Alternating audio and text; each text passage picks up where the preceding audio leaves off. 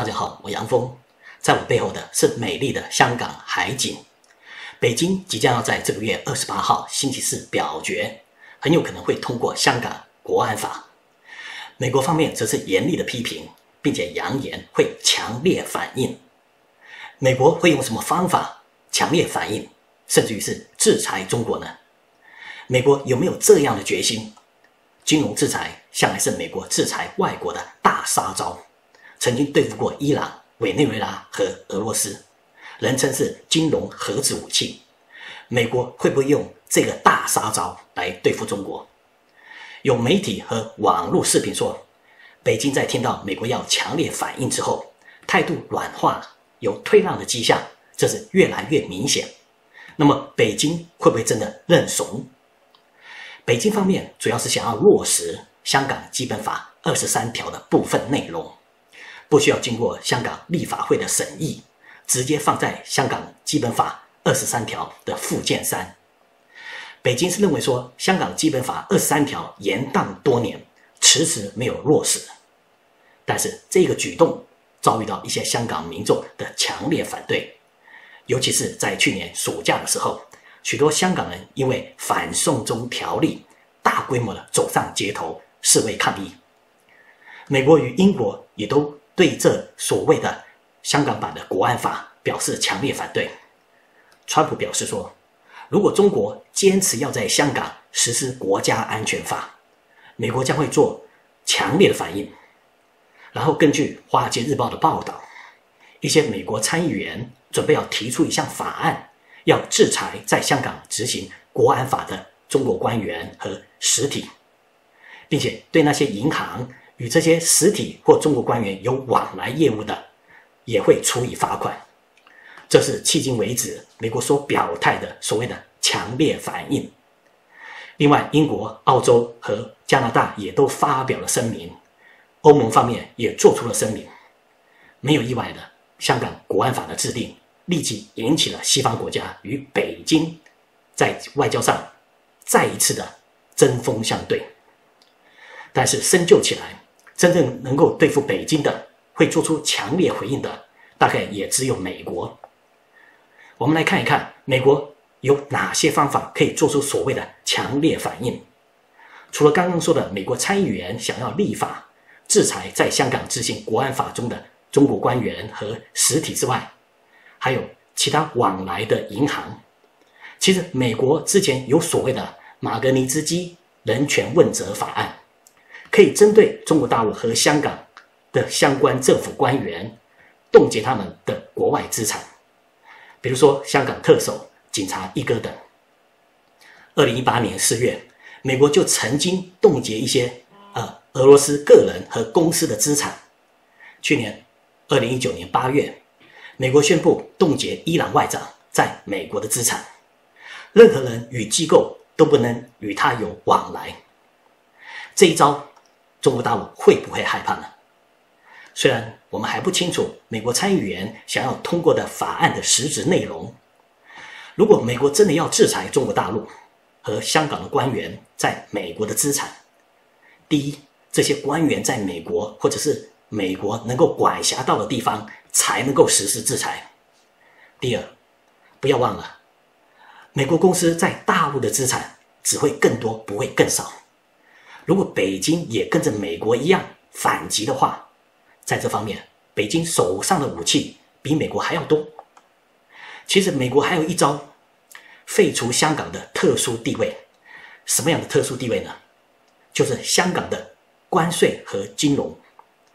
美国给予香港的特殊地位，保障了香港在一九九七年回归中国之后，作为一个自由港的地位，在某种程度上。也保障了香港金融行业的繁荣，但是这一招知识体大，影响是难以评估。一来，第一个受到影响的是香港的民众。多年来，香港靠什么吃饭？香港的经济主要是靠四大行业：金融、房地产、观光，还有航运。除了金融业之外，其他三个产业在经过去年激烈的示威抗议。游行活动的动荡之后，再加上新冠疫情的爆发，香港的经济早就严重下滑。今年大陆的五一长假，据说到香港的大陆团是零。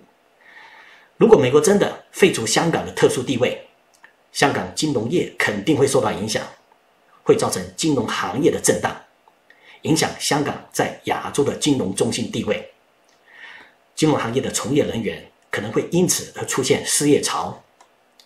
当然，这也会造成中国大陆的损失，因为香港是重要的人民币境外清算中心。其实，香港曾经是人民币第一大境外清算中心，但是在伦敦也加入了人民币离岸清算中心之后，香港的份额就逐年下滑。尤其是在历经去年二零一九年的大规模示威抗议活动之后，在香港的人民币清算业务就加速下滑。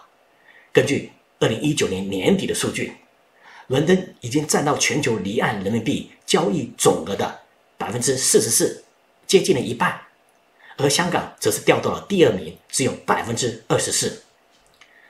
人民币境外清算中心有什么重要性呢？这是人民币走出去。人民币国际化的重要步骤，因为人民币到现在还没有完全的自由兑换，国外的个人或企业在使用人民币的时候，不方便跑到中国来兑换，也不放心，必须得要到中国境内才能够兑换人民币。所以在人民币没有完全的自由兑换的时候，境外人民币清算中心就扮演着一个重要的角色，是一个重要的媒介。这其中还涉及到，一旦美国对中国金融制裁的话，截断中国的美元清算、美元支付和结算，那么中国就得要利用人民币与国外交易、国外贸易。有了适度的人民币离岸清算中心，中国可以减缓美国对中国实施金融制裁的冲击。另外，香港也仍然是外资进出中国的一个窗口。几十年来，许多外资进入中国是透过香港，以香港为媒介。一来是香港是自由港，没有资金出入的管制；二来也是国外的资金认为说从香港进出中国会比较放心，有些资金会先停留在香港。香港是一个英语普及的华人社会，外国人在中国做生意，香港会是一个理想的地方。而香港也是执行英国法律制度的，外国公司愿意在香港签约，啊，未必是在中国大陆，他们可能会选择在香港，因为香港可以用英文的契约。那么，观众朋友可能会好奇说，如果美国实施对中国的金融制裁，英国会不会跟进停止人民币的清算业务？这个可能性是存在的，毕竟英美是一家亲嘛。但是不要过度的指望英国真的会跟进美国的措施。我们不要忘记，英国作为一个曾经的老牌帝国主义国家，在国际外交手腕上是非常有技巧的，绝对不要小看英国。我们举个例子，几年前中国大陆在推行亚投行的时候，英国就是第一个参与和响应的西方国家。二零一五年，英国在美国的反对之下。还是向中国提交了作为意向创始成员国，成为第一个参与亚投行的西方国家，也是美国盟邦中第一个参与的国家。在西方国家中，英国也是第一个设立人民币清算中心的国家。英国曾经的世界强权与老牌的帝国主义国家会有自己的盘算，未必一定会跟从美国对中国的金融制裁。有关美国对中国金融制裁的可能性，以及一旦美国真的对中国实施金融制裁的话，中国是否能够承受得住？我们会另外找个时间专门讲这个主题。美中贸易战，美中大国博弈，最终极的武器，切断最中国的美元清算，敬请收看。另外一方面，中国肯定也知道，美国有可能会有强烈的反应。那么，为什么中国还是想要推行香港版的国安法呢？中国能不能够承受得住美国的强烈反应？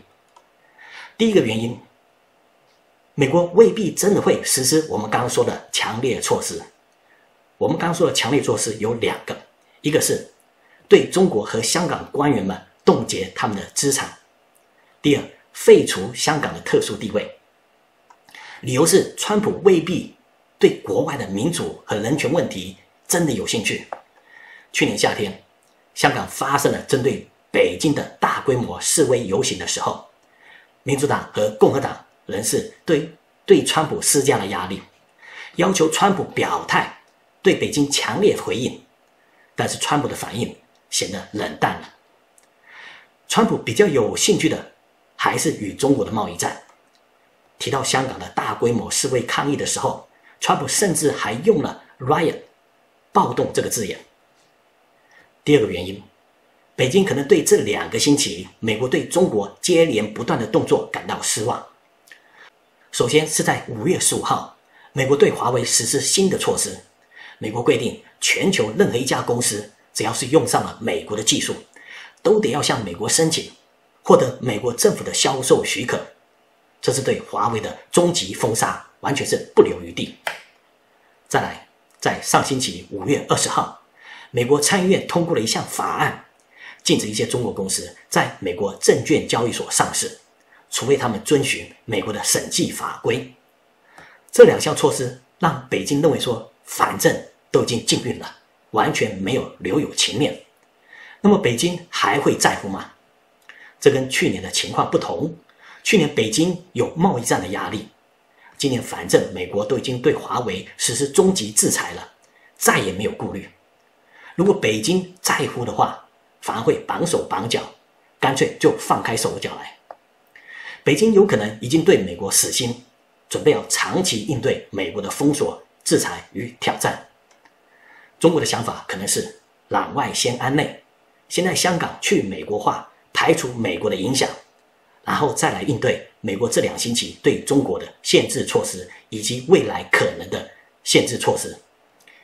有关北京可能会对美国或者是报复美国的选项，比如说会不会对美国稀土禁运，我们也会另外找时间录制一些视频，敬请观众收看。有一个可能大家有兴趣的议题，我们谈了这么多美国的反应、英国的反应以及中国的反应，那么香港民众是怎么想的呢？香港民众可是当事人，任何美国、英国的措施，甚至于是制裁，都会影响到香港民众的权益。在这里，杨峰给各位朋友介绍一个香港去年才流行的新名词“蓝潮”，这是广东话。也是最近的流行语，不是偶像剧流行语啊。蓝是拥抱的意思，潮这个字呢，在香港是有一点负面的意思啊，比如说炒股啊、炒房地产、炒鱿鱼这些。蓝潮的意思，我们可以意会为就是抱着要倒霉，大家一起倒霉；要死，大家一起死的意思，有点宁为玉碎不为瓦全，要同归于尽的味道。